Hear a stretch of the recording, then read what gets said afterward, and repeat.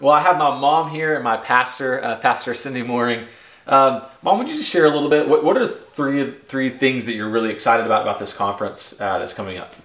Well, first of all, uh, not many people probably know this, but before we ever pastored a church, um, my husband and I were worship leaders for many years Yes. uh, in many different churches. And our heart has always been, and we've learned through leading worship, that you serve the vision of the house. Yes. And whatever that vision is, as a worship leader, you're called to create moments in the spirit that line up with what the pastor and the vision of the house is.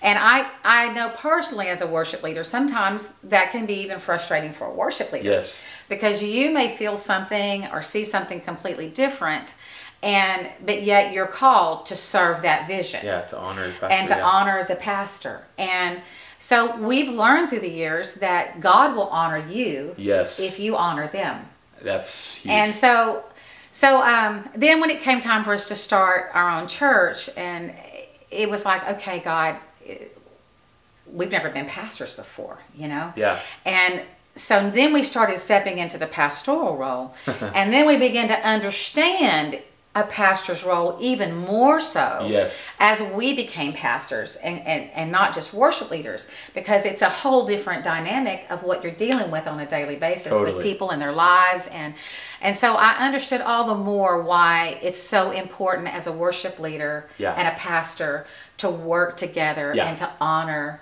the man and woman of God because That's you huge. never know what they're walking through with people, what they're dealing with, and we're we're as worship leaders are to be in unity. And Yes. what the Bible says, where there's unity, there's a commanded blessing. Wow. So we all want to live in that commanded blessing. So a lot of that's just laying down our own pride and our own agendas and serving the one agenda. And that Yes. is to make Jesus famous, to make him the one true living Lord of all Yeah. in everything we do. And we do that by submitting to one another and laying down Yes. our own agendas. And so our heart is to share that at this conference from every angle possible and to help you as worship leaders as well as pastors how to work together and in unity.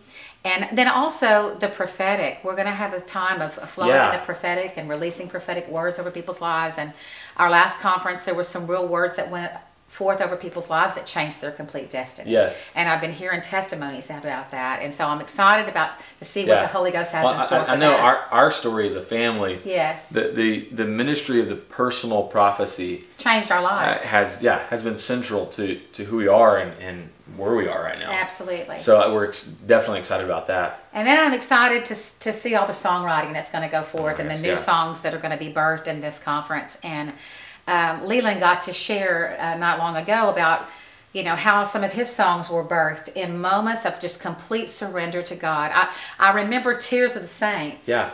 was written after we had come out of a prayer meeting. And Leland just went to the piano. So he was still in worship and intercession over the lost. Yeah. And he sat down at the piano at 2908 Heatherwood, and the entire song, Tears of the Saints, just flowed out of him. Yeah. Just like Lion and the Lamb Yeah. in that time of worship. So I'm believing for those kind of moments Yes. in this in I- this conference. Absolutely. And and so and for songwriters and worship leaders, it can be a song. right. For pastors and church leaders, it can be vision. Right. It can be ideas. right. It can be encouragement.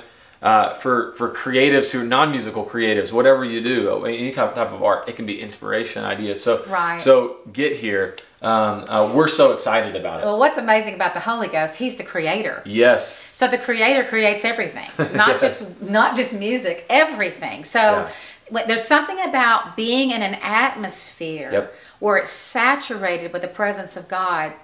You just can't put in words Yeah.